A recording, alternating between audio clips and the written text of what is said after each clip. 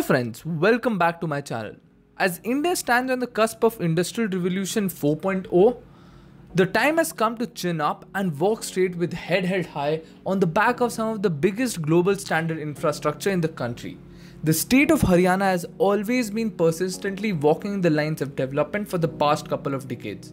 As the state is geographically well located with the basic infrastructure put into place, Haryana sits on the driving seat of every Indian's aspiration of a new developed India. Before we move ahead, I would request you to please like, share and subscribe the channel and do not forget to push the bell icon positively. The name of Haryana instantly conjures up the image of a state which astonishingly combines both antiquity and plenty. The Vedic land of Haryana has always been a cradle of Indian culture and civilization. Chandigarh is the state capital, Faridabad in National Capital Region is the most populous city of the state, and Gurgaon is the leading financial hub of the NCR with major Fortune 500 companies located in it.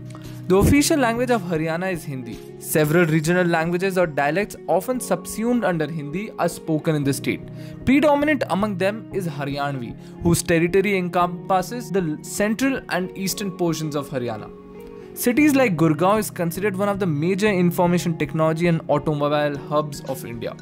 Services sector is split across 45% in real estate and financial and professional services, 26% trade and hospitality, 15% state and central government employees and 14% transport and logistic and warehousing sector. In IT services, Gurgaon ranks number 1 in India in growth rate and existing technology infrastructure and number 2 in startup ecosystem innovation and livability. Haryana is traditionally an agrarian society of zamindars. The Green Revolution in Haryana of the 1960s combined with completion of Bhakra Dam in 1963 and Western Yamuna Command Network Canal System in 1970s resulted in the significantly increased food grain production. Now that we have understood plenty of fascinating aspects of Haryana, let us look at the top 5 biggest mega projects coming up in the state of Haryana. To make it more thrilling, we will move from bottom to top depending on the importance of the particular projects. The fifth position is grabbed by the Trans Haryana Expressways. The Trans Haryana Expressway or Ambala Narnaul Expressway is a 227 km long and 6 lane wide access controlled expressway in the Indian state of Haryana. Its straight line greenfield alignment will reduce the distance from the state capital Chandigarh to Delhi, Narnaul, and Jaipur while decongesting NH44 and NH48. The alignment intersects with at least 15 national highways, including NH9, and several state highways, including SH6, SH9, SH8, SH11, and many more. Area around it is being developed as an industrial corridor. Land acquisition is complete, and construction work is expected to be completed by December 2021. Costing rupees 5108 crore, it will have 70 meter right of way, 122 bridges and underpasses, and 1,36,000 trees will be planted on either sides, which is being developed by the National Highways Authority of India under Bharat Mala project. Greenfield alignment will reduce the Ismailabad to Narnaul distance by 35 km from the existing 265 km route to 230 km new route. The mega project will be completed by the end of February 2022. Moving to the mega project which sits in the fourth position is the aerospace hub coming up near Hisar. Hisar is set to house an ultra modern integrated aviation hub that would provide facilities including designing, engineering, servicing, and maintaining aircrafts. Haryana State Industrial and Infrastructure Development Corporation Limited has announced to set up the hub in Hisar to cater the requirements of the maintenance, repair, and overhaul services, fixed base operations, and an aerospace park. The MRO facility at the proposed park would include airframe, engine, and components, whereas FBO would include parking and transit facilities, fueling and flight planning, lounge and recreational facilities for pilots and crews, and many more. The aerospace park will manufacture components for aerospace and defense sectors. MRO facility is viable for this project as the Indian aviation industry gets MRO to work outsourced outside the country. Less than 5% of MRO work is done in India. The civil aviation sector has gained momentum during the last decade and India is the ninth civil aviation market. According to the report of KPMG FICCI, the Indian civil aviation industry is the third largest market in the aviation sector and will be the largest market by the year 2030. The project is currently under implementation. The mega project that sits in the third position is the Hisar International Airport. Haryana government has decided to spend rupees 946 crore on the construction work of Maharaja Agrasen International Hisar Airport. The allocated funds will be spent on different head to complete the ongoing airport construction works in the second phase. The second phase of the construction of Hisar Airport, being developed as an integrated aviation hub, includes the construction of a cargo railway line in addition to a passenger line near Raipur. The construction of an international airport in Hisar is an ambitious plan for the people of the entire state. It is a matter of pride for the people of the state that the Hisar airport has been named after Maharaja Agrasen by the government. The city of Agroha, which was established by Maharaja Agrasen, is just 20 km from Hisar and will now get the international recognition with the naming of the new international airport. Allocated funds will be used during the next three years. Work to develop Hisar as an aviation hub is going at a brisk pace.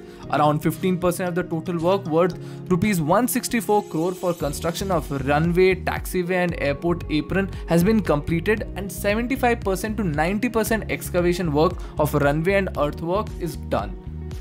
Under the allocated amount, construction of 3000 meter runway with cat light facility in the airport, a terminal building, 23 meter wide taxi tracks, parking stands, a cargo terminal, a fire station, an air traffic control building, a boundary wall, light maintenance building, and many more will be constructed. Shifting our attention to the second mega project, which is the ambitious Rewari AIIMS. The Union Cabinet, chaired by the Prime Minister Narendra Modi, approved the establishment of new All India Institute of Medical Science Rewari at Manethi, Haryana, at a cost of rupees 1,299 crore. The cabinet also approved the creation of a post of a director in the basic pay of rupees 2,25,000 plus non-practicing allowance for the above AIIMS. The site for this aim has already been finalized as already told you at Manethi in Rewari which is in Haryana. Like other AIIMS in the country, the AIIMS Rewari will also be set up under the Pradhan Mantri Swasthya Suraksha Yojana. The cost of construction and running of the new AIIMS would be met by the central government under PMSSY.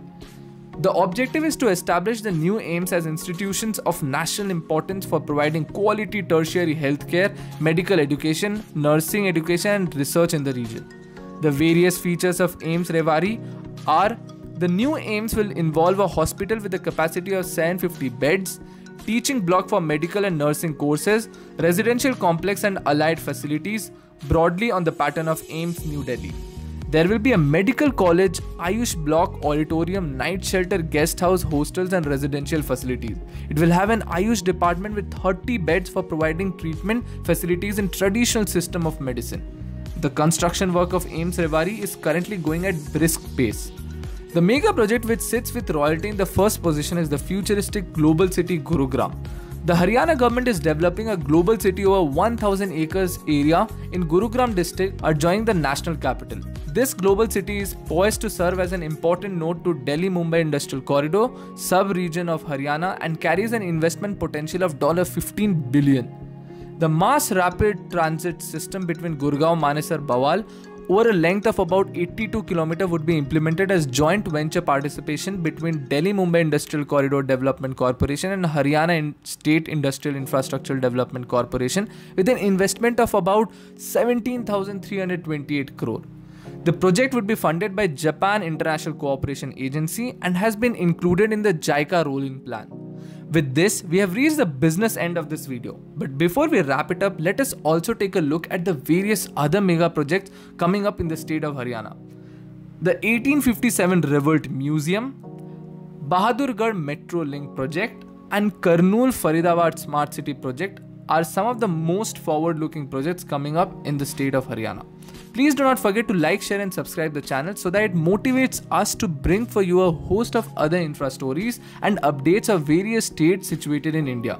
Signing off with an assurance that coming up next is the capital of India, New Delhi. Let's see what's under construction in the neighboring state of Haryana.